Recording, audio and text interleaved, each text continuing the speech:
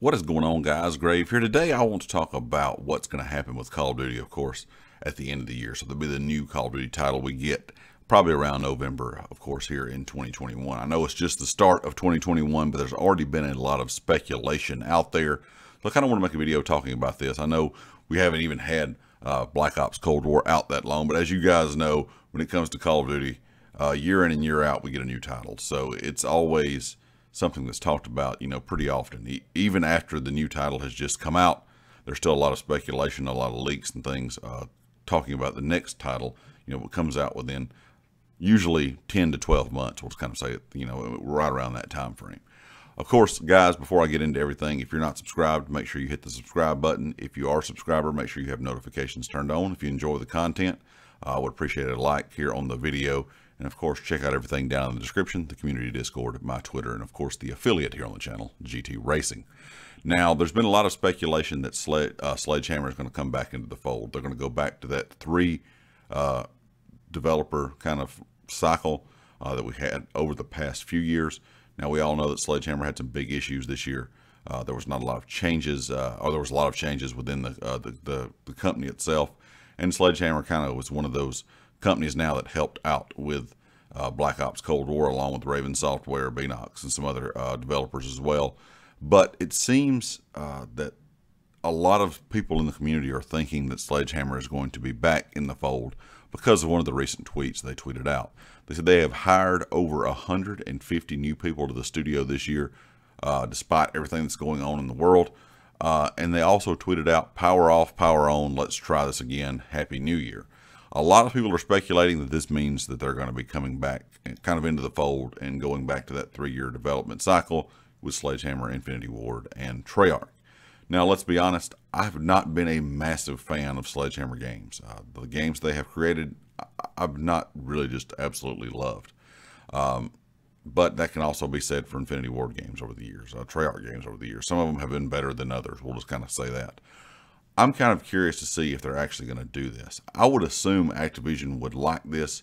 The reason I'm saying this is because uh, years back, if you think about it, when it was just to begin with, when it was just Infinity Ward and Treyarch from year to year, a lot of people kind of started getting upset with the game or, you know, saying the game was stale because it was, you know, pretty much the same developer making the game year in and year out.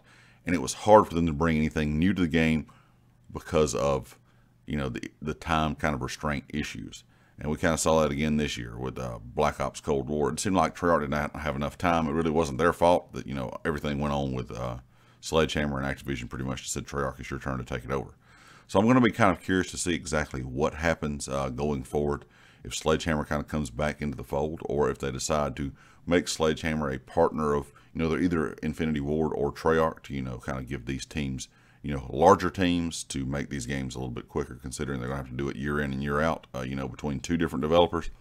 I'm kind of curious to see exactly what's going to happen. I would assume Activision at some point, if not this year, within the next couple of years, would like to go back to that three-year, uh, you know, three-year cycle with three different developers. Now, personally, you guys all know uh, what I would like to see, which is never going to happen, and that would be all the developers coming together, putting a head over one studio, and making really good Call of Duty titles with all of these people working on the game. Because if you had all three development teams working on the game, I think you could get a lot of things done for public matches, for the Pro League, uh, for ranked playlist, just updates. I think it would work a lot better, just personally.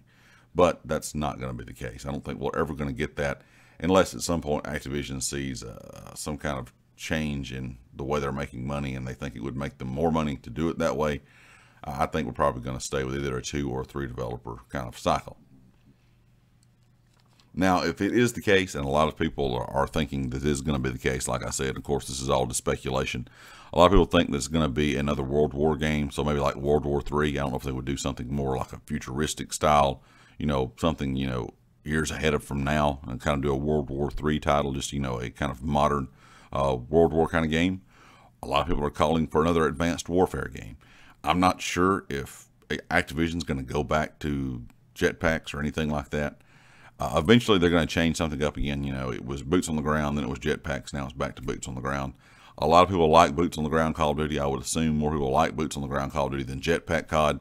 Now, Black Ops 3, I really, really enjoyed. I liked the speed of the game. That was probably the only jetpack game that I really just absolutely loved playing. The other ones were just okay.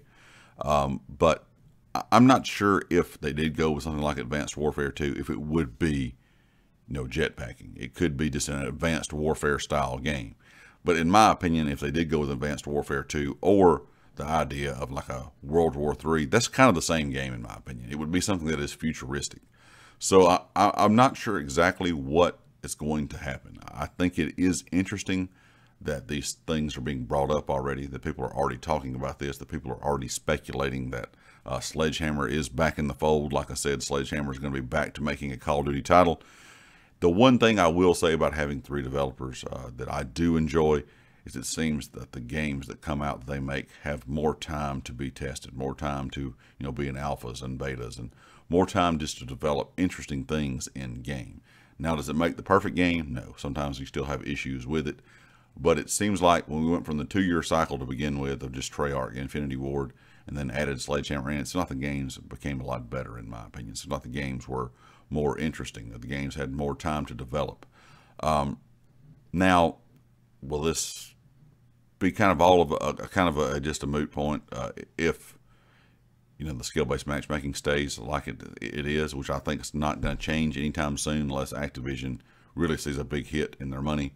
Uh, that that could be the case. Uh, three developers, who cares really? If you know skill-based matchmaking is as strict as it's been over the last couple years, I think players are going to start step stepping away from the game, and somebody eventually is going to develop another first-person shooter that people really enjoy playing, and that could hurt Activision in the long run.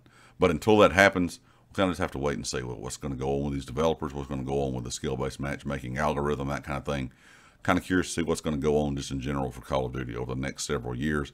Of course, it's getting really big on the pro scene. I enjoy watching Call of Duty Pro League. It's so much fun to watch. So if you've never watched it, you definitely need to give it a look this year. guys, leave me a comment with your thoughts. Are you happy to kind of hear this information? Do you think Sledgehammer is going to come back and be one of the developers again? of course, if you like the video, hit the like, and I'll catch you all next time. Peace.